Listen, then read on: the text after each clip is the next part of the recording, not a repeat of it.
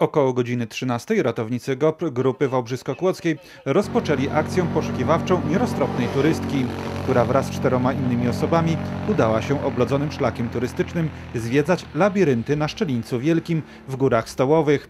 W wyniku nieuwagi turystka poślizgnęła się na oblodzonych schodach i z wysokości około 20 metrów wpadła w szczelinę skalną w rejonie tzw. Piekiełka. Pomimo trudnych warunków atmosferycznych, mgły i słabej widoczności, po około 40 minutach na miejsce dotarli ratownicy Wałbrzysko-Kłodzkiej Grupy GOPR. i za pomocą sprzętu alpinistycznego, sprzętu linowego, y, układów wyciągowych linowych i specjalnego kosza do ewakuacji musieliśmy wytransportować panią na linach do góry i następnie do stóp szczelnica znieść. No niestety na, na ramionach, gdyż no, y, pogoda nielotna, śmigłowiec nie mógł nam pomóc y, i też teren jest taki, że żadnym kołowym transportem nie mogliśmy się do poszkodowanej dostać. Kim jest ta pani? W jakim wieku? Skąd jest?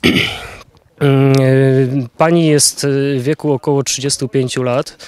E, Nie zdążyliśmy informacji, nie mamy skąd jest. Jeszcze będziemy zaraz tam z nią rozmawiać. E, Zależało nam na szybkim transporcie, więc nie, nie rozmawialiśmy z panią jeszcze poza tym, co jej dolega, bo pani była bełkotliwa, krzyczała tylko, że jej niedobrze, wymiotowała, także nie, nie, nie, nie, mamy jeszcze takich informacji. Natomiast to kobieta w wieku 35 lat, 35 lat z grupą trójką, trójką, czwórką znajomych udali się na wyprawę na Szczeliniec Wielki.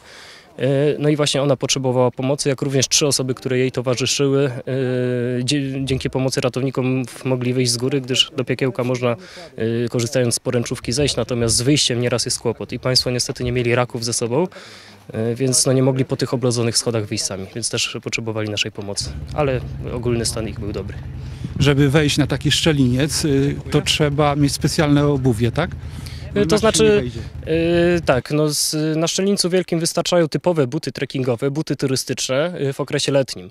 Natomiast w warunkach zimowych, oczywiście ten sam but trekkingowy albo cięższy, ale pamiętajmy o tym, że w, no, tutaj w, w tych skalnych labiryntach jest bardzo dużo lodu, bardzo dużo stromych miejsc, no i poruszanie się po tych labiryntach bez raków jest no, niebezpieczne, jak dzisiaj, dzisiaj był, był tego przykład, bo pani się po prostu poślizgnęła i spadła około 10-15 metrów po tych bardzo stromych schodach i no, uderzyła na dole. Obrażenie, jakie pani doznała, to co mogliśmy stwierdzić na miejscu zdarzenia, wiadomo, w warunkach terenowych trudnych, y, y, no to mm, były y, bardzo bolesne urazy w rejonie pleców, kręgosłupa szyjnego, lędźwiowego oraz miednicy. Przycisnąłem miednicę delikatnie, żeby sprawdzić podczas badania urazowego. Była bardzo bolesna i leciutko ruchoma, także no, te obrażenia są dosyć poważne. I teraz ona została zabrana specjalnym takim pojazdem y, y, do karetki. Y, Tak jest. Tam, gdzie się dało wjechać już po zniesieniu z tego labiryntu skalnego, specjalistycznym kładem na alternatywnym napędzie, czyli na specjalnych gąsienicach, który może poruszać się bezpiecznie w warunkach zimowych, została przetransportowana dalej już z miejsca, gdzie mógł dojechać, dalej do karetki, która czeka na nas w Karłowie. I została wcześniej powiadomiona.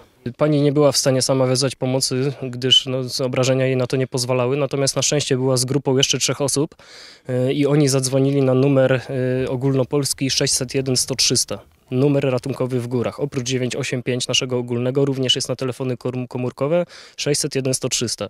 I dodzwonili się do naszej stacji centralnej w Wałbrzychu, y, stacji centralnej GoPru na ten rejon y, i on, oni z Wałbrzycha ze stacji centralnej uruchomili na całą procedurę i, i ratowników z najbliższej y, stacji terenowej naszej zawiadomili o zdarzeniu. I powiedzmy sobie szczerze, że w tej chwili na szczeliniec to raczej y, odradza pan, żeby wchodzić, a jak już, to na własną odpowiedzialność.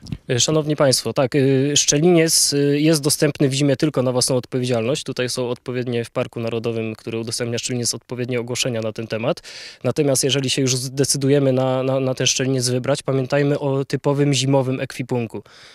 Wiadomo, odzież ciepła y, i no przede wszystkim raki, ewentualnie jakiś czekan, uprząż, jeżeli i kawałek liny, jeżeli y, byłby jakiś problem z wyjściem, też pomoże. Natomiast nie wychodźmy y, tutaj, tu w okresie letnim nie ma, nie ma wielkich trudności. Ludzie chodzą w niskich butach, trasa nie jest długa, jest y, przejście Szczelińca Wielkiego turystom zajmie około dwóch godzin.